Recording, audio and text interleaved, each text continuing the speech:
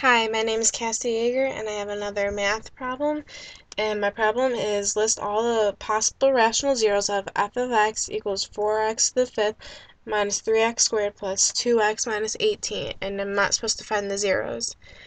All you have to uh, find out to find your zeros is your n term and your first term. So you would have to put negative 18 over 4 and you have to find out what goes into both. So you do long line like to separate and whatever goes into 18 so that'd be plus or minus 1 plus or minus 2 plus or minus 3 plus or minus 6 plus or minus 9 and plus or minus 18 and what goes into 4 plus or minus 1, plus or minus 2, and plus or minus 4. So since you listed them, now you actually have to put them together, and then that will be all your possible zeros.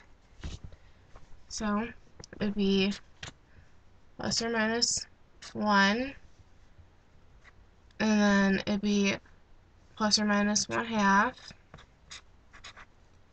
and then it'd be a plus or minus one fourth. And then it'd be plus or minus two.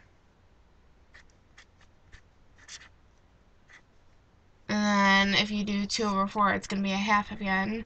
So the next one would be plus or minus 3 plus or minus 3 over 2 plus or minus 3 fourths